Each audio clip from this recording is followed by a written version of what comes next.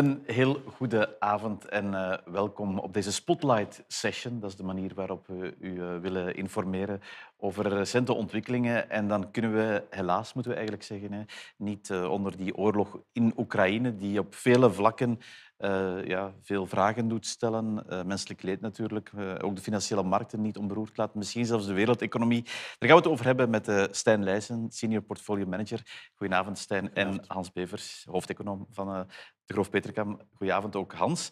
Ik geef u even mee dat u heel het uur lang ook zelf alle vragen kunt stellen die u heeft over waar we het hier over hebben. Dat komt meteen binnen. Dan kunnen we die vraag meteen aan Hans en Stijn ook stellen. Ja, Hans, um, er is veel te zeggen natuurlijk, want het is, geopolitiek een, een, een bijzondere situatie, uh, maar natuurlijk ook een situatie waar, om te beginnen, menselijk leed heel groot is. Ja, ja, absoluut. Hè. In de eerste plaats. Hè. Dus nu al zijn er 4 miljoen mensen in Oekraïne die het land verlaten hebben.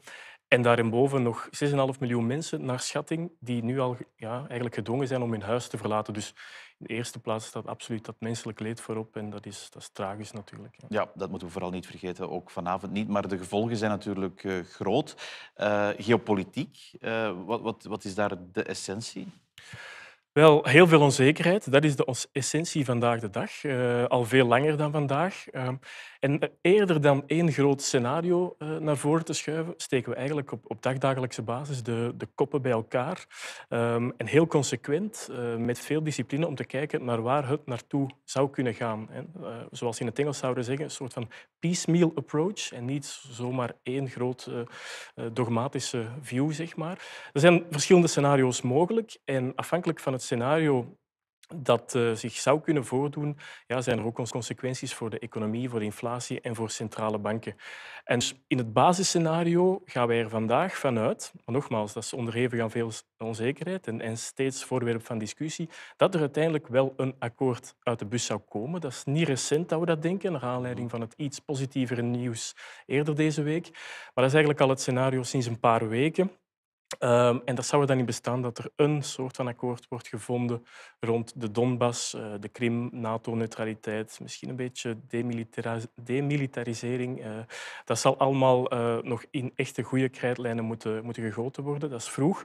Um, zal ook niet volgens ons onmiddellijk zijn. Het zal nog even duren, maar uiteindelijk gaan we daar wel um, van uit. Maar nogmaals, als het zo is dat morgen er iets gebeurt dat we het scenario moeten veranderen, dan doen we dat eigenlijk onmiddellijk en passen we ook uh, onze, onze, onze scenario's daarop aan. Ja, want dat wou ik vragen. De, er is natuurlijk uh, ook heel veel dat op het terrein ontwikkeld, waar we dan uh, dagelijks of, of zelfs ja, bijna van minuut minuut andere dingen horen. Gisteren was zo'n een dag waar er een toegeving werd gedaan, die in twijfel werd getrokken. Daar blijft dan vandaag niks meer over. Dat betekent dat die scenario's of dat scenario eigenlijk bijna permanent moet, moet aangepast worden. En zo gebeurt het ook. Hè. Zijn er bombardementen op, uh, op de stad meer, meer westelijk, uh, Lviv, dan, dan discussiëren we daarover. We, we wisselen argumenten uit. Uh, proberen dat zo rationeel mogelijk als, uh, als het kan te doen. Um, maar het blijft super moeilijk om ook, ook, in het hoofd te kijken van, uh, van meneer Poetin. Uh, ik ik keek gisteren nog naar een, uh, naar een gastlezing van een professor, een Nederlandse professor, Universiteit van, uh, van Radboud, die ook zei van ja, kijk, ik kan heel die historische context van Rusland perfect schetsen. Ik kan zeggen dat uh, Poetin absoluut um, ja, zelfs gedegoteerd is van wat er in de jaren 80 gebeurd is met, met Gorbachev mm. en een zwakke figuur als Yeltsin in de jaren 90.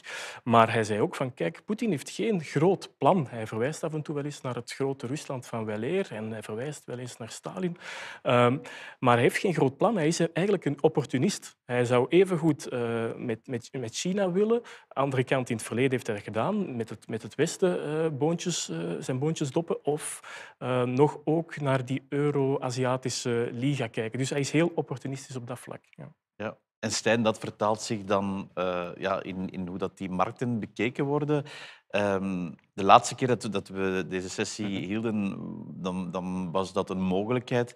Markten hebben dat toen wat genegeerd. Intussen is er wel ook op marktenvlak uh, een, een, hele evolutie uh, geweest op korte tijd eigenlijk. Er is inderdaad een hele evolutie geweest. Hè. Um, wat dat we ja, gezien hebben, en we hebben het vorige keer tijdens de, de highlights die we toen hadden eventjes aangeraakt, is dat geopolitieke gebeurtenissen um, over het algemeen, maar en opnieuw, en Hans heeft mij toen uh, zeer goed gecorrigeerd door te zeggen dat er vandaag andere variabelen kunnen spelen, maar dat geopolitieke gebeurtenissen over het algemeen niet zo sterk de markten beroeren. Wat dat tot nu toe wel heel sterk opvalt, is dat ja, aandelen vandaag hoger staan dan op het moment dat de oorlog begon. Dat is eigenlijk overal zo, met één uitzondering. De groeimarkten, voornamelijk door China, komen we misschien straks nog op terug. Maar aandelen staan dus hoger, terwijl dat obligaties sinds begin van dit jaar, maar ook sinds de oorlog verder gezakt zijn, omdat de rente ook gestegen is. Ja. Dus dat is toch heel opvallend. Het is, het is, een vraag die, die gesteld wordt, en terecht ook, hè, want we zagen bij, uh, wat is dat, drie weken geleden, toen die oorlog of die inval begon, uh, mokerslagen voor, voor beurzen, uh, stevige cijfers. Ik herinner me een dag met een verlies van 5 procent. We hebben nog bepaald min 20 gestaan ja. uh, year to date. Ja, en, en dan, eigenlijk is dat nu al ingehaald, dat verlies. Ja. iemand stelt terecht de vraag van hoe, hoe verklaar je die stijgende beurzen? Want dat past ook niet in het verhaal van olieprijzen die aan het boomen zijn, grondstoffenprijzen. We gaan er straks nog verder op door. Maar hoe kan dat dat die beurzen dat bijna straal negeren? Het, het, is heel bijzonder, want we zeiden vorige keer, de aandelenmarkten zijn aan het corrigeren omdat de rentes aan mhm. het stijgen zijn. En vandaag rentes stijgen nog verder door, maar de markten zeggen eigenlijk voorlopig leggen we dit naast ons neer. Ik denk dat daar, we kunnen daar verschillende redenen aanhalen, maar ik denk dat de drie belangrijkste zijn momenteel dat eigenlijk de winstverwachtingen nog redelijk intact blijven. We zullen zien in hoeverre dat analisten die gaan bijstellen. Dat eigenlijk ook vandaag omdat inflatieverwachtingen, of inflatie in ieder geval sterk is gestegen, hebben we vandaag nog het cijfer gekregen dat er eigenlijk geen alternatief is voor die aandelen. En dat we ja, vandaag ook nog altijd blijven zien dat die groei toch nog wel zou blijven doorzetten. Ja, het zijn drie elementen die uh, maken dat, uh, ondanks de situatie, beurzen het toch niet slecht doen, want daar komt het eigenlijk op neer. Hè? Opvallend, opvallend en heel bijzonder tot nu toe. Want een periode met stijgende inflatie, stijgende rentes, en dan ja, een oorlog in onze buurt zou je toch denken dat we naar een correctie gaan. Maar tot nu toe zien we, tot nu toe, hè, zien we het tegenovergestelde. Ja, wat we zullen zo meteen dan opentrekken naar, naar wat dat dan voor de economie betekent, Hans, maar misschien ook nog geopolitiek toch. Dit, dit het is natuurlijk niet het eerste conflict uh, de voorbije jaren. Het is wel in onze achtertuin en het is natuurlijk met een nucleaire macht. Hè. Is, is dat wat, wat het verschil maakt met andere militaire conflicten of invallen die we, die we zagen? Ja, dat is een heel belangrijke variabele, want uiteindelijk de Russische economie is een, is een kleine economie, heeft ongeveer de grootte van, van de Benelux of, of nog de economie mhm. van Spanje. Um, dus het is eigenlijk eh, een heel kleine economie. Ook militair, die uitgaven, als je het vergelijkt met Amerika, zijn eigenlijk ook heel beperkt. Um, er wordt wel eens gesproken over de Russische beer, maar eigenlijk is het maar een, een, een beertje. En eh, waarom zou je nog kunnen spreken van een, van een beer? Is dat ze in de eerste plaats uh, kernwapens hebben. Dat klopt. Maar natuurlijk, als we spreken over een beer, Rusland, moeten we niet vergeten dat naast die beer misschien een veel grotere olifant staat. En dat is natuurlijk China. De Chinese economie is tien keer zo groot als, die, als de Russische. Dus we moeten alles in perspectief blijven plaatsen.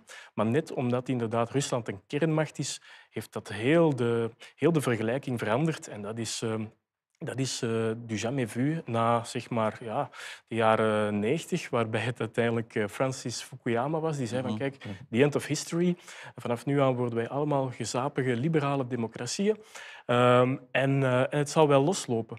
Maar uiteindelijk ja, is het zo uitgedraaid dat de, dat de, geschiedenis vandaag springlevend is. En eigenlijk al meer dan een decennium lang. Hè. Sinds 2008, 2009 verzanden we eigenlijk van de ene onzekerheid in de andere. Uh, en daarom denk ik ook hier dat het heel belangrijk is om niet zomaar één groot scenario naar voren te schuiven. Dus ik zei het al, uh, Fukuyama begin jaren 90. Dus dat was 92 dat hij dan echt uh, zijn, zijn studie naar voren bracht. Dat is, dat is exact 30 jaar geleden. Een paar jaar later had hij dan uh, Samuel Huntington in 96, nee, die zei van nee, nee, Fukuyama is verkeerd. Het zal de clash of civilizations mhm, zijn. Het, mhm. zal, het zal de culturele botsingen zijn, de grote culturele botsingen. Nu zitten we meer het afgelopen decennium in, uh, in het verhaal van, van meer een koude oorlogsretoriek. Dus van een unipolaire wereld naar een multipolaire wereld initieel, maar steeds meer naar een mhm. bipolaire wereld, waarbij er Amerika is, China, uh, die andere landen in hun invloedssfeer proberen te krijgen. En het is verleidelijk om, om in dat groot verhaal mee te stappen. Maar toch denk ik dat we opnieuw, zoals we ook doen met die oorlog, dat we eigenlijk van dag tot dag moeten samenzitten en kijken hoe bewegen, hoe bewegen alle elementen zich ten opzichte van elkaar uh, in die wereld van onzekerheid. Eerder dan te zeggen van ja, we geven zoveel kans aan dat scenario. Want dan, dan geef je de indruk dat we probabiliteiten kunnen kleven op één scenario En dat kunnen we niet, want het is onzekerheid. Ja. Ja, waarvan de afloop uiteraard ook onzeker is. Maar zelfs als dit afloopt, en dat is toch wat in het scenario vervat zit, hè, begrijp ik, gaat dit uh, sporen nalaten, eh, ook als het afgelopen zou zijn? Ja, dat denk ik wel. Hè. Dus wat zou je kunnen, wat zou je kunnen verwachten? Opnieuw, uh, het is, het is geen, geen, geen bouwde voorspelling. Maar zelfs bijvoorbeeld als je het scenario bewaarheid ziet waarbij uiteindelijk de Russische troepen zich gaan focussen op de, op de Donbass-regio, mhm. dus uh, met de steden Luhansk en Donetsk. Um, dat zou een mogelijkheid zijn nog voor Poetin om in zekere mate met, met een overwinning thuis te komen. Uh, naast de stad Mariupol in het zuiden, die havenstad. Uh, misschien nog NAVO-neutraliteit. Maar dan nog is de wereld wat dat betreft veranderd. Hè? Want uiteindelijk, wat ga je dan hebben? Je gaat misschien een duidelijkere grens krijgen, maar die grens die zal ook voorlopig nog uh, altijd aanleiding blijven geven tot conflict en, en spanningen. Dus dat, de wereld is op dat vlak toch veranderd. En ook de afhankelijkheid die Europa nu heeft van Russisch gas, van olie, ja, die wordt teruggeschroefd.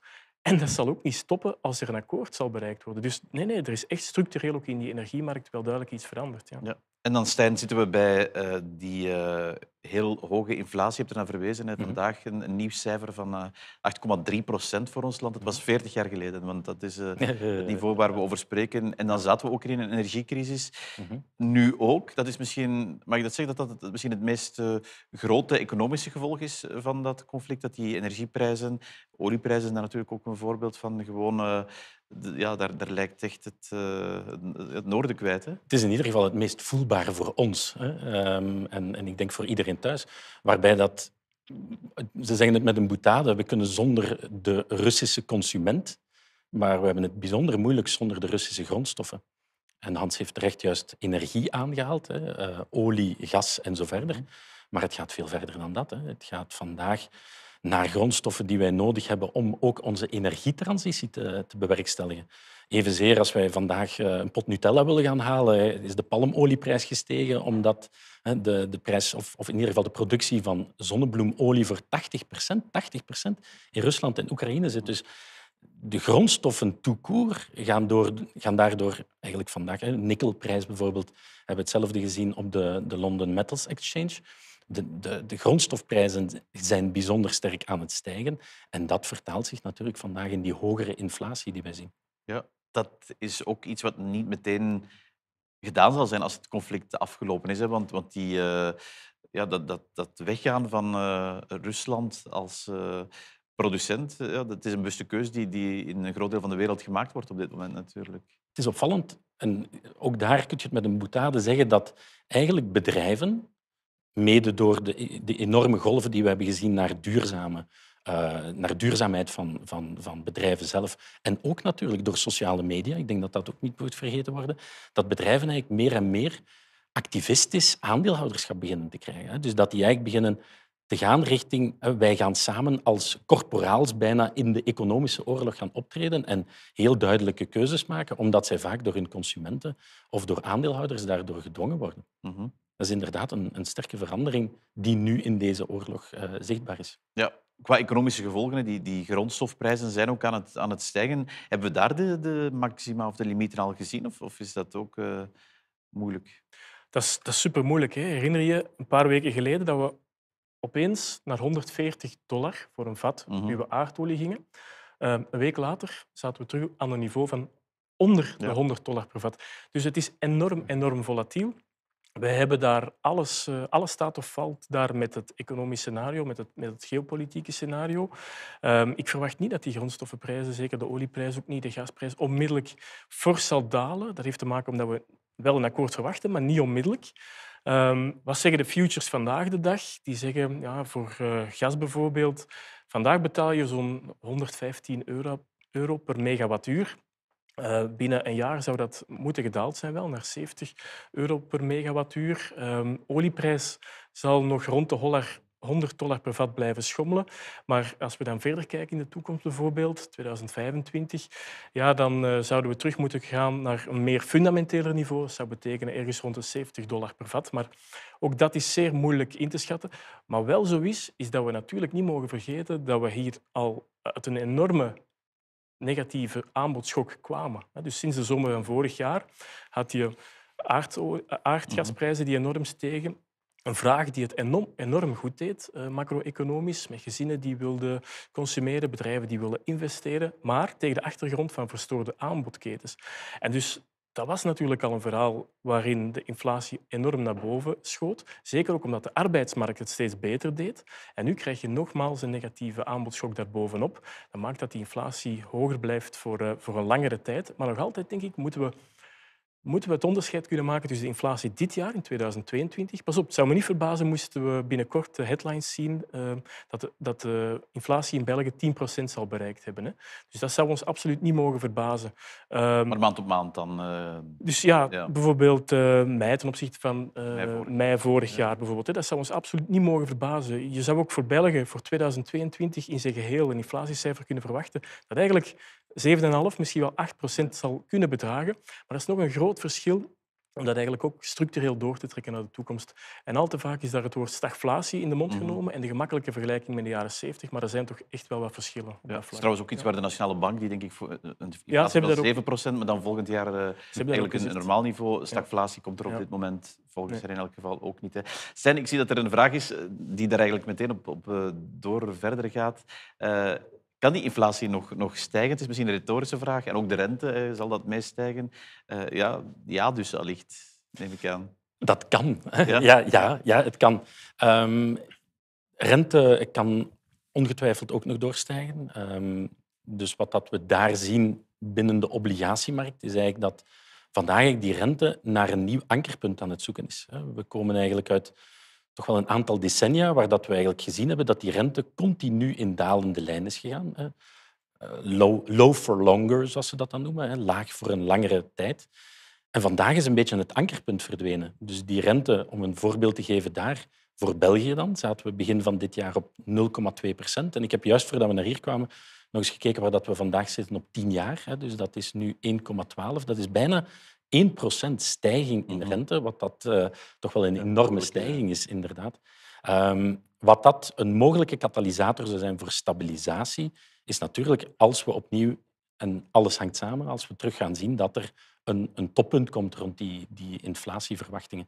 En dat zou, maar heel voorbarig, en Hans, corrigeer mij zeker, zou richting april, mei uh, kunnen zijn. Ja, want dat moeten we uh, houden. Ik zie er nog heel veel vragen zijn. U kan uw vragen dus ook nog uh, altijd uh, stellen via de, de chatbox, de Q&A die u rechts van uw scherm ziet. Een vraag, Stijn, die, die op zich ook wel relevant is als we het hebben over de economie, want we hebben het altijd over de gevolgen hier. Er zijn natuurlijk ook in Rusland gevolgen, grote gevolgen, economische gevolgen, omwille van al die sancties. Er zijn een aantal mensen die aan het kijken zijn, die zich afvragen, als u daar geïnvesteerd hebt in, in bedrijven of in bedrijven die aanwezig zijn in Rusland, laten we het wat breder trekken, wat dan? Bedoel je dan op de markt geïnvesteerd hebben? Ja, ik vermoed, dat, dat vermoed ik. Als, als, als er uh, rechtstreeks of onrechtstreeks uh, posities zitten in Rusland. Ja, veel, heel veel zal het misschien... In ieder geval in onze portefeuilles, en dat is ook een gevolg van het beleid wat dat we jaren gevoerd hebben, is eigenlijk het feit dat we gezegd hebben van wij willen in meer een ESG-benadering hebben in de portefeuille, dus de directe exposure is quasi nul. Ja. Um, wat dat wel zo is geweest, is dat bijvoorbeeld in de index van groeimarkten algemeen, dat daar een deel Rusland in zat, een 2%, maar MSCI, dus degene die de index maakt, heeft na de inval in Rusland ook Rusland geschrapt uit Ja. die index. Dus wij zitten in ieder geval niet direct belegd in Rusland. Nee.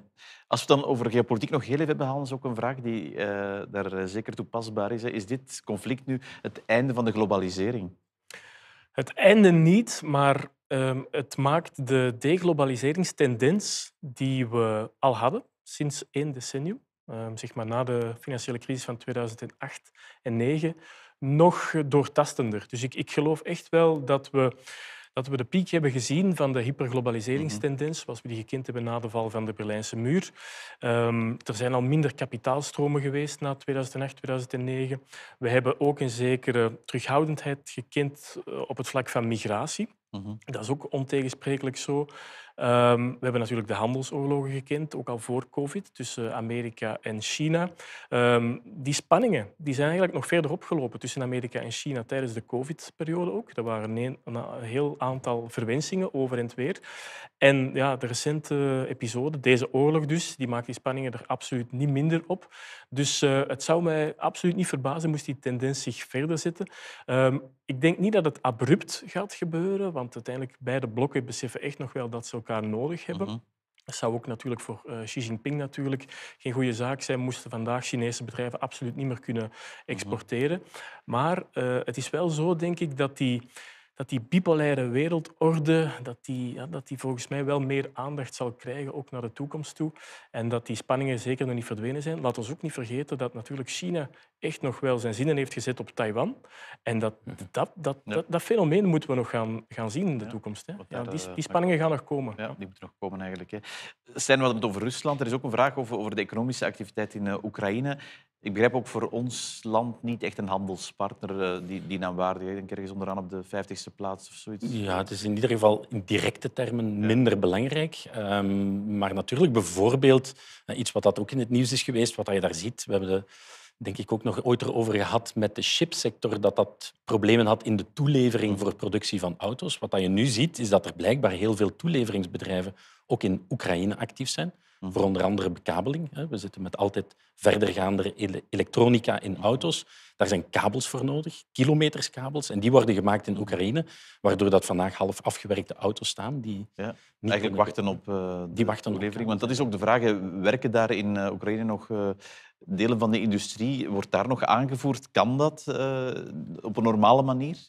Ik denk wat dat bijvoorbeeld... Het, is, wordt toch altijd de graanschuur van Europa genoemd. Mhm. Wat je daar ziet gebeuren, is natuurlijk dat um, de boeren, en ik spreek dan specifiek over de, het voedsel, want dat is ook uh, een, een, heel belangrijk issue daar voor het Midden-Oosten, dat de boeren er zouden in slagen om vandaag toch al een deel van de akkers in te zaaien. Maar opnieuw, als je vandaag met tekorten zit naar materiaal, als je geen wisselstukken krijgt, dan is het heel moeilijk in een oorlogszone natuurlijk te, te mm. opereren. Dus de activiteit in, in Oekraïne gaat ongetwijfeld uh, naar beneden.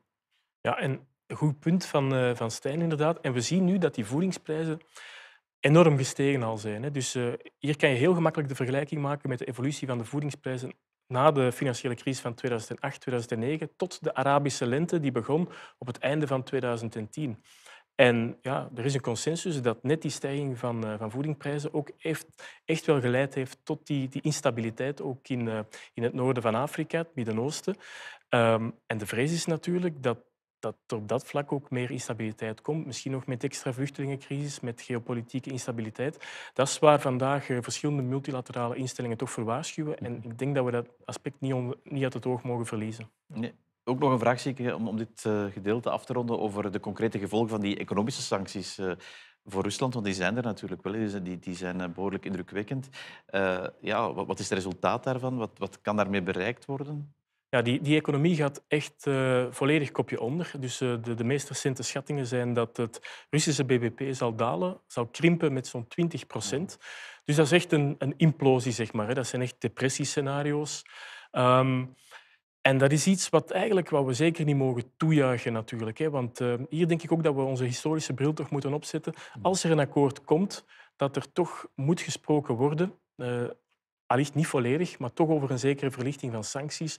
We mogen zeker niet de fout maken die er gemaakt is na de Eerste Wereldoorlog. Keynes heeft toen een beroemd traktaat geschreven, de Economic Consequences of the Peace, eh, na Versailles dus. En dus uh, het is echt belangrijk dat de visie van, van Rusland, de Russische, er moet natuurlijk een duidelijk onderscheid gemaakt worden tussen de Russische bevolking en het Russische mhm. regime. En uh, het, het, zou ons absoluut niet helpen moest de Russische bevolking meer opgezet worden tegen het Westen. Ja. Mm -hmm. Laten we even over uh, de wereldeconomie en de gevolgen daarvan hebben. Stijn, van die grondstoffenprijzen stijgen naar niveaus die we al lang niet meer gezien hebben of zelfs nog niet gezien hebben. Uh, de inflatie is hoog. Wat, wat zal de wereldeconomie uh, daardoor doen? Wat zal de impact zijn hiervan? Dus wat je ziet vandaag gebeuren uh, door die grondstofprijzen die gestegen zijn, is natuurlijk ten eerste dat die inflatie bijzonder is toegenomen. Mm -hmm. Maar wat je vandaag begint te zien, is eigenlijk dat er uh, in het Midden-Oosten een hele verschuiving aan het gebeuren is. Hè. Dus wat dat je ziet, is dat Saudi-Arabië bijvoorbeeld vandaag al in onderhandeling is met China om bijvoorbeeld bepaalde olieleveringen te laten gebeuren in Chinese renminbi. Um, en op wereldvlak gaat het opnieuw dan naar dat geopolitieke gaan, omdat wat je ziet gebeuren is dat China toch een belangrijkere rol begint op te eisen. Begint ook daar op een bepaalde manier meer samenwerking te zoeken met Rusland. En dus ik denk dat de, de verschuiving geopolitiek op dat vlak ook een heel interessante gaat zijn om te volgen. Ja. Um, de groei die wij zagen in Europa is natuurlijk een groei die aanvankelijk, hè, ik denk ook dat we dat vorige keer hebben gezegd, dat wij overwogen Europa waren, dat wij toch zeer positief waren daarover. Natuurlijk, omdat wij zo dicht zitten bij het conflict, zijn onze groeiverwachtingen op dat vlak ook uh, neerwaarts bijgesteld. Ja. ja, maar niet dramatisch. Hè? Mm -hmm. Dus um, het is wel zo dat ik voor het tweede kwartaal een negatief groeicijfer heb. Maar in ons basisscenario, opnieuw, we gaan dat van dag tot dag moeten bekijken, is het niet zo dat we echt naar een diepe recessie gaan. En met een diepe recessie bedoelen we dat het ook echt uh, spillover effecten heeft op de arbeidsmarkt. Uh, en dat is toch ook een duidelijk verschil met de jaren 70 bijvoorbeeld. Toen hebben we gezien na de eerste olieschok in, in 1973, dus uh, Yom Kippur-oorlog, maar nog met de, met de volgende schok ook, dat echt de arbeidsmarkt ook duidelijk onder druk kwam met een werkloosheid die steeg. Vandaag de dag in Europa was die arbeidsmarkt al heel goed, uh, heel goed verbeterd, hersteld na corona. Enfin, corona is zeker niet gedaan. Daar zullen we nog wel uh, later dit jaar misschien mee te maken mhm. krijgen. Maar goed, laten we het even parkeren. Um, en wat we vandaag hoort, ook bij bedrijfsleiders en ook uit enquêtes, is het echt wel dat bedrijven willen vasthouden aan hun, aan hun werknemers.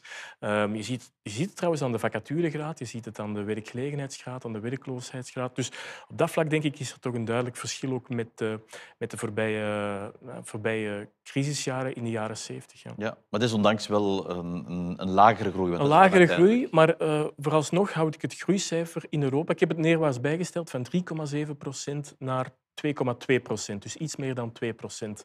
Um, ik denk dat dat verdedigbaar is vandaag de dag. Uh, we gaan dat moeten bekijken. Op wereldniveau zal er iets meer dan een, uh, dan, dan, een, dan een procentpunt van de groeiverwachtingen worden, worden geschoren. Maar uiteindelijk kom je nog op een redelijk hoog groeicijfer. Waarom? Omdat je met een zeker positief momentum kwam uit mhm. vorig jaar, uit die coronacrisis.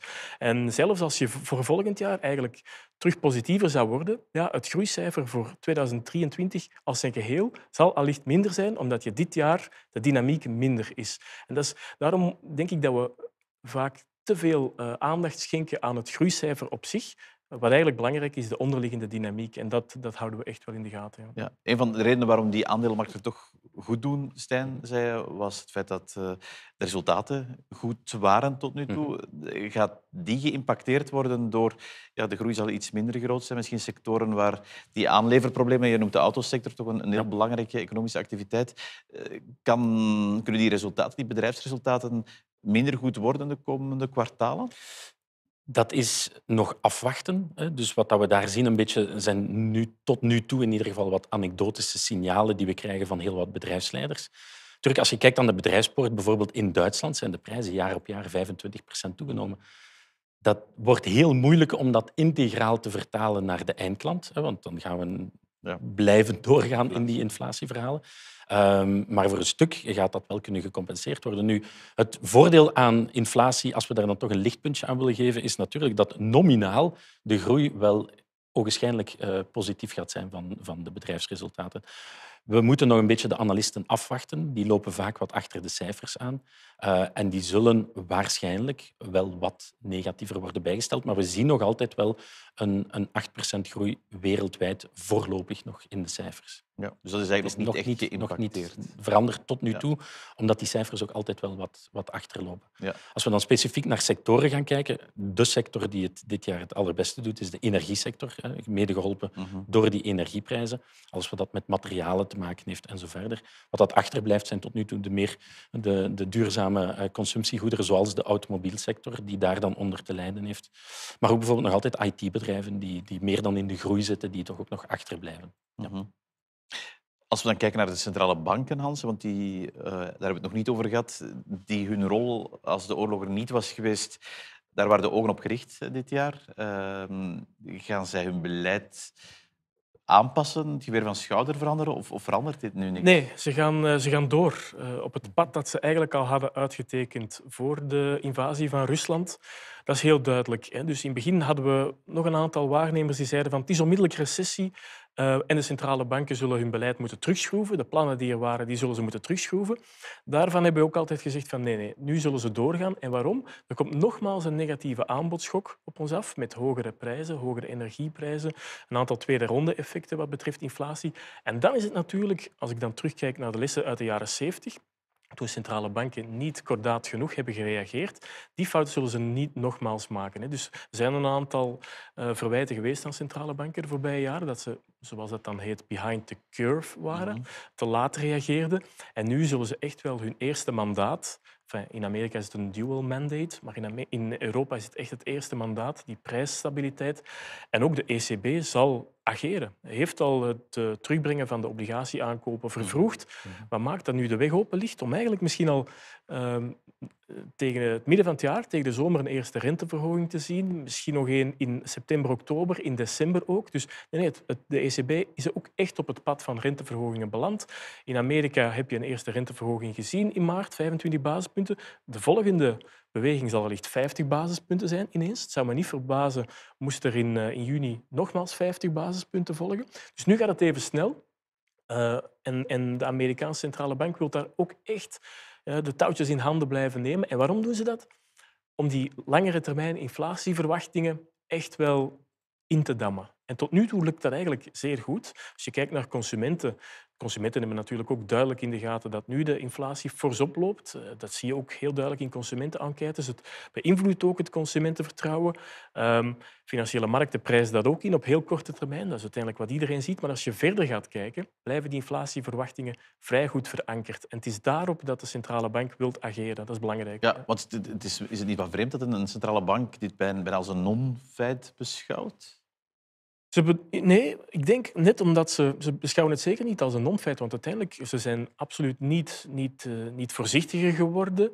Uh, en ze beseffen natuurlijk ook dat als centrale bank zijnde zij hier vandaag niet heel veel tegen kunnen doen onmiddellijk. Hè. Dit is een schok dat van buitenaf mm komt. Een, schok, een externe schok. Dus, uh, en, maar centrale banken ja, laten echt hier niks aan de verwensing over, aan de, aan de verbeelding over. Zij zeggen heel duidelijk, wij willen die inflatieverwachtingen verankeren en dat is heel belangrijk. Want dat zou kunnen beletten dat die inflatieverwachtingen niet verankerd geraken uh, en dat je geen stagflatiescenario krijgt zoals in de jaren 70. Ja. Ja, en met dat beleid van de centrale banken zijn we bij uh, de uh, strategie de financiële markten aangekomen. Verschrikkelijk veel vragen, het zal je niet verbazen. Uh, ik ga beginnen met die, met die rentes, want dat is bij obligaties al snel. heel vreemde evolutie van obligaties hebben we gezien de voorbije dagen en weken en maanden zelfs misschien. hoe valt dat te verklaren?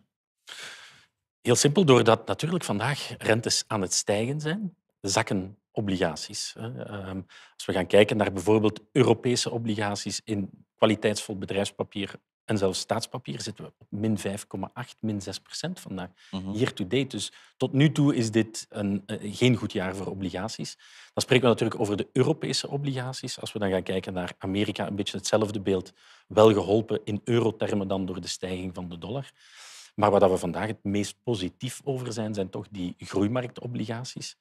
Um, wat dat we daar zien, is eigenlijk dat de rit die Hans juist schetst, die onze centrale banken aan het afleggen zijn van renteverhogingen, hebben zij vorig jaar gehad. Hè. Dus ze hebben de bittere hmm. pil al een beetje gehad vorig jaar. Het grote voordeel wat dat ze ook hebben, we, we gaan een beetje van petrostaten naar elektrostaten, hè. staten die hmm. grondstoffen moeten leveren voor onze energietransitie, die daardoor ook zichzelf gaan versterken. En dus een heel interessante niche worden. Met daarbij dan nog eens dat die eigenlijk rendement geven waar dat wij vandaag van kunnen dromen, in nominale termen ook opnieuw, richting de 6% ongeveer. Dus dat is wel iets waar dat we vandaag in een glo globale portefeuilleaanpak meer aandacht aan besteden. Obligaties van groeilanden, daar komt het eigenlijk op. In lokale munt. Ja. Dan uh, zitten we bij een hele reeks vragen over de, de beurzen, de financiële markten. Uh, wat, wat mogen we daar verwachten? Uh, door uh, ja, die toch combinatie van een hoge inflatie, een groei die minder groot wordt, maar wel groei blijft. heel volatiel, dat is meestal geen goed teken, hebben we de voorbije weken gezien. Wat, wat verwachten jullie voor de beurzen of de, de financiële markten? Voor de financiële markten, dus de beurzen ja, de, aandelenmarkt. ja, de aandelenmarkt, zijn wij eigenlijk toch nog altijd gematigd positief. Dus wij, zijn, eh, wij geloven, zoals Hans ook terecht heeft aangehaald, niet in het, nog niet in het recessieverhaal, met het scenario wat dat we vandaag hebben. Als we dan kijken naar de winstevolutie, als we ook kijken naar die koers-winstverhouding, vandaag aandelen zijn goedkoper geworden in historisch perspectief. Nog altijd is Amerika duurder dan Europa, Japan of de groeilanden, maar ook om terechte redenen. Amerika staat ook veel verder af van het conflict in Oekraïne, mm heeft daar veel minder gevolgen van op korte termijn. Maar dus een, een goed gespreide portefeuille, vandaag geloven wij nog altijd dat die zeker, wat, eh, zeker nog voldoende gewicht in aandelen moet hebben.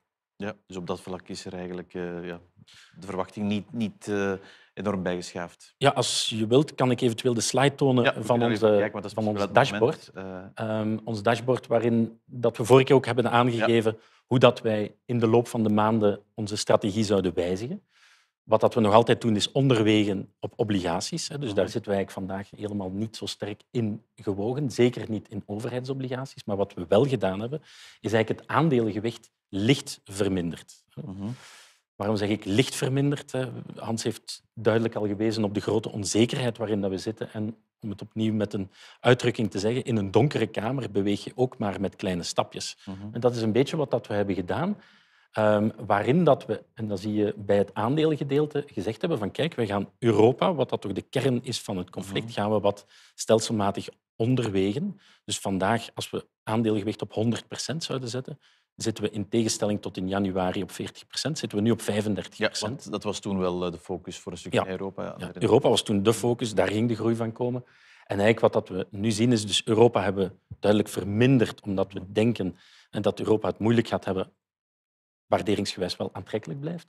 Dus Europa zit vandaag op een 35% terwijl we in Amerika vandaag 41, 42% hebben.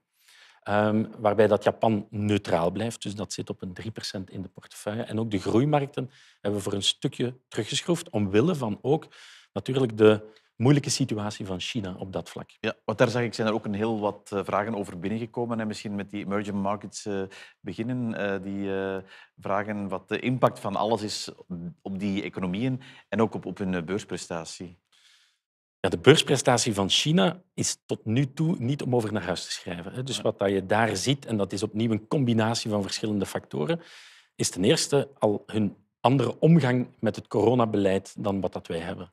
Dus zij zitten nog altijd over lockdowns te spreken. Momenteel zitten we in Shanghai, dacht ik. Volledige lockdown. volledige lockdown, vier dagen die wijk en vier dagen die wijk. Shenzhen?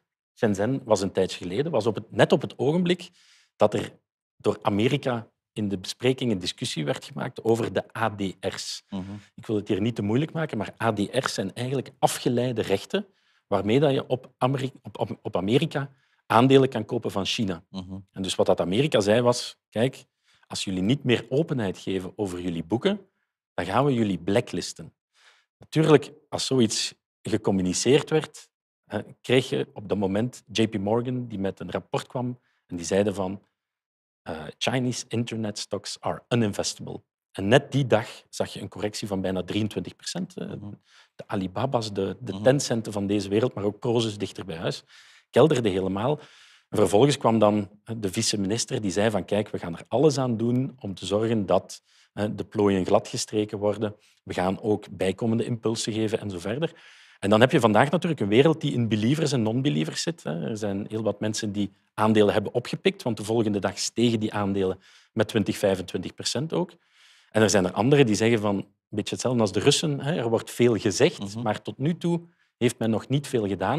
En die zeggen van, we wachten eerst nog op een duidelijk effectief signaal van de Chinese overheid alvorens we terug in die markt stappen. Ja. Dus wij blijven daar, zoals we vorige keer ook hebben gezegd, voorzichtig. een beetje afwachtend. Daar zit veel waarde in op lange termijn, maar we willen eerst zekerheid dat het een goede keuze is. Ja, ik ga er nog een vraag uitpikken, Hans, die, die er uh, verband mee houdt met die hoge inflatie waar we het al uh, eigenlijk heel de avond over hebben. Al bij al nog steeds relatief uh, lage lange termijnrente, dus sterk negatieve reële rentevoeten. Een goede timing voor kredieten, vraagt iemand zich af. Ja, maar al minder interessant dan, dan ja, zeg maar een jaar geleden. Die Belgische lange termijnrente op haar dieptepunt was min 40 basispunten. Vandaag meer dan 1 procent.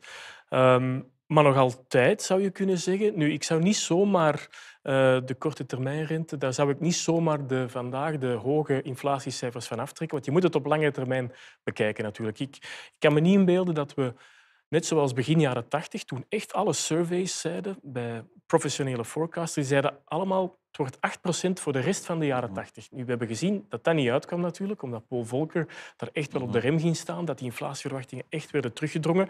Dus, ehm, en in ons scenario komt die inflatie ook terug. Ehm, niet snel. Uh, ik denk zelfs dat het iets langer kan duren dan wat Stijn uh, eerder zei, uh, april of mei. Ik denk dat het eigenlijk lang zal duren dit jaar vooraleer we de eerste tekenen van, van verlaging zullen zien. Maar uiteindelijk komt die inflatie wel naar beneden. Um, en dat is eigenlijk ook al ingeprijsd door financiële markten. Dus wat zeggen financiële markten vandaag voor de eurozone op lange termijn? Dat die inflatie toch sterker terugkomt tegen de doelstelling van de ECB. En dat is 2 procent. En dat is uiteindelijk ook wat de ECB wil. Dus uh, als je dat combineert met, uh, met de renteverhogingen in Europa, ja, dan is er nog altijd wel sprake van een negatieve reële rente. Maar die zal allicht um, iets hoger zijn dan de reële rente die we de afgelopen jaren gezien hebben. Ja, want daar, daar, is ook een vraag over uh, de evolutie van rentes op, op spaarboekjes, wie cash aanhoudt. Ja. Uh, gaat dat fundamenteel veranderen uh, door die renteverhogingen? Nee, dat zal nog even duren, denk ik. Um, maar ook hier zou je uiteindelijk toch wel... Um, ja, verbetering kunnen verwachten. Dus ik denk mhm. uiteindelijk ook wel dat de ECB niet zal stoppen met renteverhogingen in 2022. Ook in 2023 kunnen we nog Twee à drie hoor ik je zeggen. Hè? Ja, dus ik denk wel dat het niet zou moeten verbazen. Maar goed, ook weer met twee woorden spreken hier, want binnen 18 maanden zou de wereld er weer anders kunnen uitzien. Maar de verwachting is nu toch dat die, dat die centrale bankrente, die nu op min 50 basispunten zit, dat die misschien tegen eind 2023 toch al geëvolueerd is naar uh, richting anderhalve procent. Ja. En dan zit je eigenlijk op die korte termijnrente zit je 2 procentpunten hoger dan vandaag de dag, uh, is toch niet niks. Nee, nee. Uh, en ik vermoed dat toch dan ja, langzaamaan toch ook uh, commerciële banken toch iets, iets hogere rente zullen geven. Maar het zal allicht niet, uh, niet nee. echt op. En de weg van de geleidelijkheid in elk geval, dat heb ik begrepen. Stijn, uh, een paar vragen. Ik geef nog even mee. U kan uw vragen nog altijd doorsturen. We hebben nog een kwartier, dus u kan zeker uw vragen nog doorsturen. Die kunnen we hier dan voorleggen. Een, vraag die een paar keer is binnengekomen, zie ik, Stijn. Het gaat over uh, aandelen in defensie- en wapenindustrie. Uh, niet onlogisch dat uh, de resultaten van die bedrijven het op dit moment goed doen. De vraag is, kom je in de verleiding om dergelijke aandelen in de portefeuilles op te nemen als je gezien de situatie weet dat die bedrijven het misschien wel goed zullen doen? Ik heb het daar straks eventjes aangehaald dat we met die ESG-mind ja. toch wel uh, beleggen. Dat eigenlijk de duurzaamheidstoetsen. Voilà, de, duur, de duurzaamheidstoetsen die we doen. Uh, ik denk dat we niet alleen over defensieaandelen kunnen spreken, maar ook, ik geloof dat vorige keer ook die vraag terugkwam over echt de zware energiebedrijven. Hè. Denk daar aan ja. de Chevrons en andere. Maar evenzeer, en daar denk ik wel dat we naar een verduurzaming moeten gaan, naar uh, alles wat dat mining is. Hè. Als we vandaag kijken naar de verwachtingen die er zijn rond metalen, tegen 2040 gaan we zeven keer meer nodig hebben dan we vandaag nodig hebben. Dus voor groen te, om groen te worden qua uitstoot, hebben we mining nodig. Ook dat is niet ESG. Daar gaan vandaag discussies over of dat een Rijnmetaal of andere nodig zijn om net... Rijnmetaal is een, een mhm. defensiebedrijf, of dat dat net bedrijven zijn die nodig zijn om onze duurzame... Dus de soft power die we hebben als Europa met een hard power te kunnen omringen en dat dat ook duurzaam is. Ik denk dat dat voer voor discussie gaat zijn voor de komende maanden. De verleiding is er zeker, maar voorlopig kunnen we niet in defensieaandelen beleggen. Nee, omwille van die uh, ja. duurzaamheidstoets. Ja. Oké. Uh, Hans, een uh, vraag over de, de dollar. Dat wordt ook wel, wel vaak gesteld. Hoe zie je die evolueren? Ja, um, de dollar is, is sterk. Dus de dollar is veel sterker dan eigenlijk de fundamentals op lange termijn zouden doen vermoeden. Dat zijn dan de, de koopkrachtpariteitmodellen die we daar volgen. Um, maar natuurlijk, in tijden van onzekerheid, zoals je altijd ziet in het, uh, in het verleden, zal die dollar aantrekkingskracht hebben, zoals een, een echte safe haven, mhm, zoals het dan mhm. heet.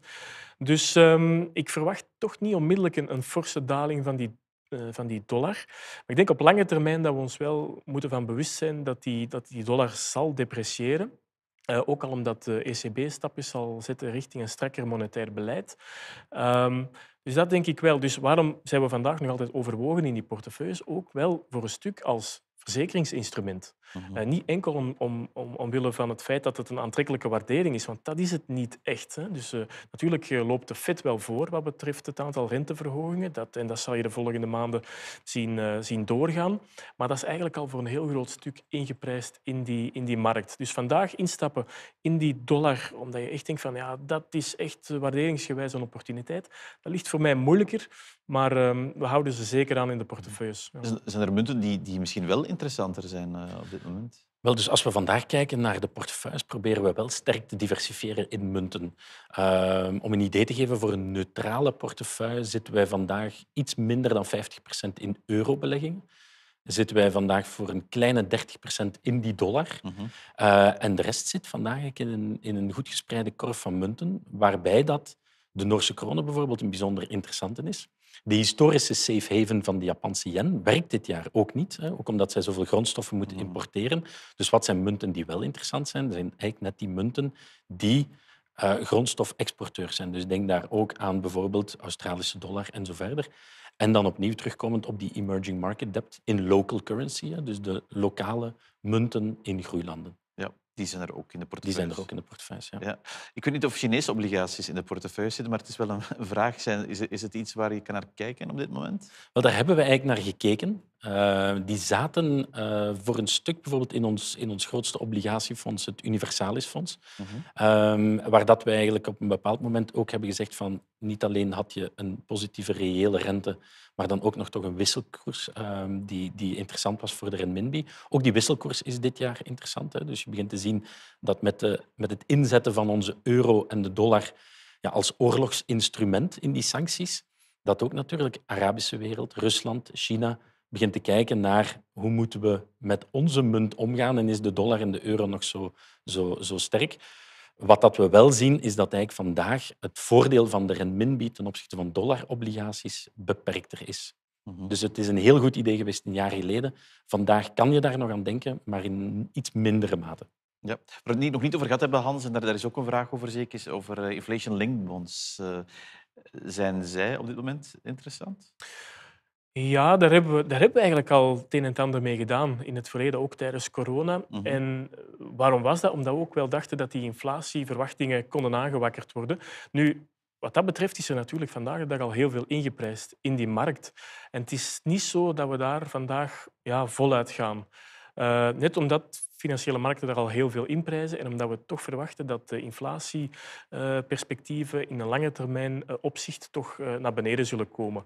En dan is het eigenlijk ook zo dat we denken, waarderingsgewijs ook, en zeker omdat centrale banken in groeilanden al de nodige stappen hebben ondernomen vorig jaar, uh, munten die ook vrij aantrekkelijk zijn, mm -hmm. dat we eigenlijk toch ook in belangrijke maanden, mate aandacht schenken aan die, aan die obligaties uit groeilanden. Ja. ja die er ook in zitten. Hè.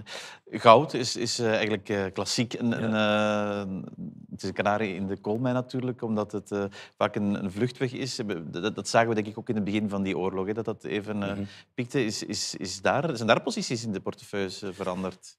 Verandert niet. Zoals we vorige keer ook hebben gezegd, dat zit in de portefeuille. Um, weliswaar voor een klein gewicht, een beetje afhankelijk van het profiel, anderhalf tot 2,5 procent in de portefeuille. Vorige keer ook gezegd dat dat net is voor geopolitieke risico's. Dus daar heeft het absoluut zijn werk voor gedaan. Maar belangrijker is dat het minder inflatiegebonden is, maar meer met die reële rente evolueert. Dus als die reële rente terug zou beginnen stijgen, denk aan het scenario dat we aan topinflatieverwachtingen zijn, dat nominale rente blijft doorstijgen, is goud eigenlijk minder interessant. Dus op het ogenblik dat we een witte vlag krijgen en dat alles goed loopt in, uh, in, in Rusland, is het misschien wel het moment om iets minder goud in portefeuille te. Ja, want dat is een vraag die net binnenkomt, zie ik. U waardeert goud als neutraal. Dat, dat zagen we eh, in de overzichtsslide nog. Is dat iets wat contradictorisch, eh, Hans, gezien de behoefte aan grondstoffen Goud is een klein beetje, het is niet, niet veel natuurlijk. Ja. En de stijgende inflatie? Met goud kunnen we eigenlijk onze... Het wordt gebruikt nog. Het heeft nog eh, een toepassing, bijvoorbeeld in de, in de tandindustrie. Ja. Maar het heeft weinig echte ja. grote industriële toepassingen. Uh, het levert ook geen dividend op. Mm -hmm. uh, maar ik denk dat je het altijd moet zien als een verzekeringsinstrument uiteindelijk. Um, ik denk ook dat dat met name niet altijd goed begrepen wordt. Dat het eigenlijk ook heel veel waarnemers waren het voorbije decennium die zeiden van het is, het is enorm aantrekkelijk omdat de inflatie alleen maar zal toenemen omwille van het uh, goedkope centrale bankbeleid. -huh. Maar de indicator die je daar in de gaten moest houden, en Stijn heeft er allusie op gemaakt, was net die reële rente. Wij hadden eigenlijk, wij hadden eigenlijk uh, onderliggende economie daaraan hadden we genoeg om eigenlijk die, uh, die, die goudprijs een beetje te kunnen inschatten, die reële rente, het beleid van centrale banken. En dat blijft nu nog, maar er zit wel een premie in. En ik denk ook wel, als we daar, daar straks uh, de wereld schetsen, dat die allicht nog voor lange tijd onzeker zal blijven. Ja, dan kan het wel zo zijn dat centrale banken ehm, een beweging zullen inzetten richting een hogere reële rente op termijn. Dat denk ik wel, maar we mogen daarnaast zeker ook niet de geopolitieke toestand uh, veronachtzamen. Zeker China speelt daar een mhm. belangrijke rol. Dus ik denk ook niet dat de, de goudprijs onmiddellijk heel, heel fel zal imploderen. Als ik misschien nog eventjes daarover mag zeggen, over die grondstoffen. Hè. Dat is iets wat dat we intern bediscussieerd hebben. Maar specifiek om in grondstoffen te gaan beleggen, heb je instrumenten nodig die niet overeenstemmen met ons beleggingsbeleid. Dus dat gaat eigenlijk ook over gestructureerde producten die vaak niet één op één de grondstofprijs volgen. Wat dat we wel hebben in portefeuille zijn eigenlijk bedrijven die daarmee van profiteren. Dus bijvoorbeeld een, een Boliden in Scandinavië of een Epiroc die mining producten levert en die wel past binnen ons duurzaam kader, zijn eigenlijk heel interessante bedrijven. Maar niet rechtstreeks? Rechtstreeks niet. Zilver wordt hier gevraagd. Is dat anders dan goud dan? Of, of, of is daar een uh, andere houding ten opzichte van? Omdat het misschien economisch wel wat meerwaarde heeft? Ja, ik vond de opmerking van Hans heel interessant over, over de tandtoepassing met goud. Eigenlijk bij zilver heb je veel meer industriële toepassingen, waardoor dat niet alleen de component van indekking aanwezig is, maar ook nog de industriële component. Dus puur daar op inspelen zou, zou ik niet uh, doen in portefeuilles. Nee. Er zijn nog heel veel vragen. Ik kan de u ook nog altijd stellen. We hebben nog tijd. Uh, eentje dat um, ja, er tegenwoordig vaak bij is, de crypto, munten, cryptoproducten. Een vraag die op zich wel interessant is, omdat uh, de vraag is, is het al overwogen om ze de portefeuilles te steken? Eventueel indirect. En dan wordt er verwezen naar uh, MicroStrategy. is een Amerikaans bedrijf, denk ik, dat een dienstenbedrijf, maar dat belegt in, in cryptomunten, in bitcoins. Hè. Is het is zo? Is komt zo'n bedrijf MicroStrategy in aanmerking om in de portefeuille te komen? Voorlopig niet. We zijn wel die opties aan het bekijken om te zien. Ja, dus wat dat we doen is natuurlijk altijd de nieuwigheden die in de markt komen, die toetsen we af in hoeverre dat we iets dergelijks kunnen aanbieden. Dat is voorlopig in een zeer preliminair stadium dat we daar onze uh, tenen in het water aan het steken zijn, om het zo te zeggen. Ja. Um, maar dat bekijken we en van zodra het zou kunnen van de regelgever, want weet ook dat kan vandaag niet, ja. uh, is dat eventueel iets wat... En je hoort ook de voorwaardelijkheid in wat dat ik zeg. Ja, maar ik hoor toch ook al een, een stille evolutie. Maar we, we, we, volgen alle nieuwigheden wel op. En als het dingen kunnen zijn die een meerwaarde voor onze klanten kunnen betekenen, is dat zeker iets wat dat we kunnen aanbieden. En dan zo onrechtstreeks zoals dat uh, MicroStrategy, is, is dat dan inderdaad een mogelijke optie als, als, als? We zijn daar met een aantal partijen uh, vandaag aan het bekijken wat dat de opties zijn. Boeiend, in elk geval. Um, Hans, heel veel andere vragen ook nog. Ik ga er eentje uitpikken. Trackers. Uh, ja, op, op, momenten dat die markt heel volatiel is, is dat dan interessant? Ja, maar je, je volgt natuurlijk blindelings. Hè? Ja. Dus, um, en ik denk in een, in een goed gespreide obligatieportefeuille, mm goed gespreide aandelenportefeuille ook, ja, ga je toch telkens malen nieuwe accenten moeten leggen, zowel binnen het obligatiegedeelte als uh, de verhouding obligaties en aandelen. Je kan dat natuurlijk allemaal zelf doen. Dat is, dat is een mogelijkheid. Maar ik denk dat je dan af en toe de, de intellectuele discussies misschien uh, niet altijd helemaal mee hebt en ook de, de, snelle veranderingen die op dat vlak uh, kunnen gebeuren. Dus uh, ja, ik, ehm, ik neem het zeker mee, maar, eh, of wij nemen het in ja. ieder geval mee, maar het is niet zo dat we vandaag ja, focussen. Nee, nee. nee. Het is eigenlijk het, doel van ze te kloppen natuurlijk, ja. die trackers. Focus niet, maar zoals je terecht aanhaalt, in volatiliteit. Op een moment, ik, ik herinner het mij nog dat de, de, de Eurostox op 3400 punten stond. Dat was het moment om dan te zeggen van oké, nu pikken we wat dingen op. Mm -hmm. Dan kan dat voor een gedeelte van de portefeuille wel een interessante optie zijn. Dividendaandelen, ook daar wordt uh, naar gevraagd. Op momenten van hoge inflatie, is, is dat dan misschien net interessanter? Dat is zeker een van de componenten van alle strategieën die we proberen te capteren in een, in een goed gediversifieerde portefeuille. Mm -hmm. um, absoluut interessant, maar wat dat er vandaag voor een groot stuk in zit, zijn natuurlijk die bankaandelen. Ja. Bankaandelen hebben we daar ook gezien dat we een, een rollercoaster van je welste hadden in Europa. Ik uh, neem maar KBC aan, wat dat een van onze grootste bankaire posities is, waar dat wij begin van dit jaar op 85 euro stonden en waar dat we eventjes onder de 50 zelfs zijn geweest. Dus en nu terug. Uh, en nu terug. Ik ga niet zeggen op 85, maar we, we zitten toch terug in, in een opwaartse beweging. Um, dus dividendaandelen zeker, maar opnieuw in een goed, goed gediversifieerde portefeuille. Ja, maar dan hebben ze hun plaats. Um, Hans, ik wil ook nog een, een, een meer macro-economische vraag stellen, die, die denk ik uh, refereert aan wat uh, onder meer de Nationale Bank gisteren ook uh, liet uitschijnen, of, of, eerder deze week, die indexsprong. Hè, want die hoge inflatie, automatische loonindexering in ons land, dan komt die loonkloof er weer als, als risico. is natuurlijk een politieke beslissing, een indexsprong. Hè. Ja. Kan het, denk je?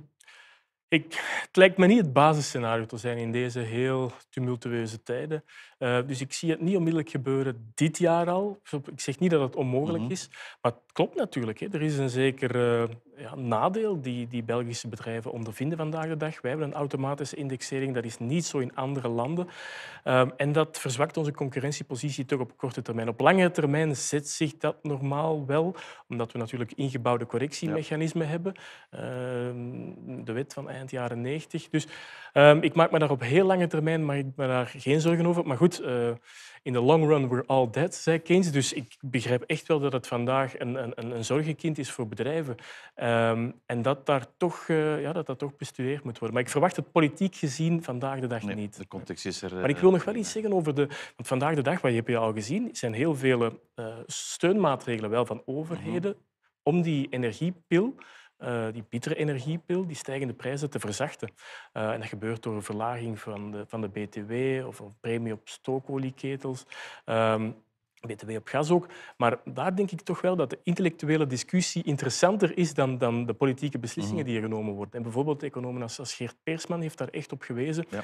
dat je eigenlijk uh, als econoom zijnde eigenlijk meer een maatregel zou verwachten die neigt naar een invoerbelasting, om dan uiteindelijk uh, die opbrengsten te kunnen gebruiken om de, de echt minder gegoede middenklasse, uh, midden, middenklasse te kunnen compenseren. En dat is uiteindelijk wat we vandaag niet genoeg doen, denk Mhm. ik. En vandaag blijven we eigenlijk het, het Poetin-regime wat dat betreft sponsoren. Ja. Ja. Ik ga nog één vraagje eruit pikken, Stijn. echt aandelen gerelateerd. Automobiel versus big tech is de vraag. Ja, het zijn nog twee... Ik zou de versus weglaten. Uh, volgens mij is het vandaag uh, automobiel en, en big tech. Mm -hmm. Ik denk dat Tesla daar het uh, voorbeeld ja, bij, voilà, bij, bij, uitstek is. mede ook door de mega, mega fabrieken die zij opgericht hebben. Zit, zit in de portefeuille. Zit in de portefeuille, ja. ja. recent in Maagdenburg in, in Berlijn. Hè, door een ja, zeer um, effectief beleid daar te voeren. Ook door te kijken van hoe kunnen we onze, onze toelevering, als we het over nikkel hebben, hebben zij bijvoorbeeld recent een exclusiviteitscontract afgesloten met Nieuw-Caledonia, een regio waar dat 300.000 mensen wonen, maar die wel 10% van de wereldwijde nikkelvoorraad hebben, die ja, eigenlijk op een heel efficiënte manier aan het werken zijn in Duitsland, automobielland bij uitstek. Um, en waarbij dat de Volkswagens en BMW's van deze wereld met heel grote ogen aan het kijken zijn van hoe kunnen wij even ja. efficiënt zijn. -huh. uh, dus het is een combinatie van, van uh, automobiel en big tech, met dan natuurlijk het hele duurzame mobiliteitsvraagstuk, mm -hmm. om te zien van, als we puur naar Tesla kijken als automobielproducent, ja, dan is die vandaag wel bijzonder duur. Mm -hmm. Maar als we gaan kijken als, naar Tesla als toekomstige mobiliteit met allerlei dimensies, kan je het bijna nog goedkoop noemen. Ja. Voilà. En dus we hebben Tesla, we hebben heel veel tech in portefeuille, puur specifiek in automobiel hebben we ook Stellantis, mm -hmm. de fusiegroep ja. die we vorige keer ook eventjes hebben aangehaald. Puur omdat dat ook volgens ons een heel interessant aandeel is met een uh, goedkope waardering. Zullen we eens samenvatten, heren? Uh, want we hebben een, een uur uh, gesproken. Misschien met de positionering beginnen, Stijn. Van, ja, er is natuurlijk een en ander veranderd door die oorlog. Hè? Ja, ik denk dat als we het allemaal samenvatten in vier punten, dat eigenlijk de essentie is dat we het aandelengewicht licht verlaagd hebben in Europa en de groeimarkten ten voordele van de VS. Dat we vandaag meer gewicht hebben in het aandelengedeelte in de VS dan in Europa. De focus ook op kwaliteit. Dat staat er als een kort zinnetje. Uh, lijkt een evidentie, maar vooral het is de focus op kwaliteitsbedrijven. Mm -hmm. Bedrijven die zich de voorbije jaren bewezen hebben als bedrijven die erin slagen om winst neer te zetten, onafhankelijk van de evolutie rond grondstofprijzen en andere externe onzekerheden. En dus focus op kwaliteit in portefeuille. We zijn vandaag onderwogen duratie. Wat bedoelen we daarmee? Uh, de, de, looptijd van de obligaties in de portefeuille is beperkt. Voor een neutrale portefeuille komen we zo uit op ongeveer twee jaar duratie in de portefeuille, wat dat dus eerder kort is. Maar we zijn wel waakzaam daarvoor. Opnieuw komen we terug op het verhaal daar straks rond rentes, inflatie, verwachtingen. Rentes zijn heel sterk gestegen. Weet dat er heel veel geld aan het wachten is om terug in te stappen als we denken dat we op de top zijn.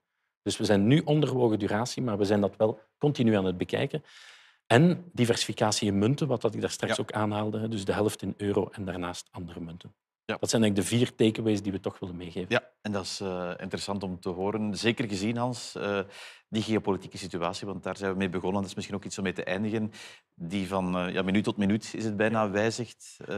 Ja. ja, dat is een belangrijk punt, denk ik, om te herhalen. Dat het niet zozeer is één groot scenario naar voren schuiven, maar elke dag opnieuw die koppen bij elkaar te steken, heel consequent, en eigenlijk af te toetsen wat er gebeurt in Oekraïne. Um, welke, welke strategie Poetin hanteert, uh, hoe zich dat vertaalt in voorraadketens, inflatie, groei, centrale bankbeleid. En dat is voor ons de essentie korte, korte lijnen, zeer korte lijnen, eerder dan, uh, dan één grote wereldbeschouwing naar voren te schuiven. Ja, en dat is wat jullie dagelijks doen, begrijp ik. Hè?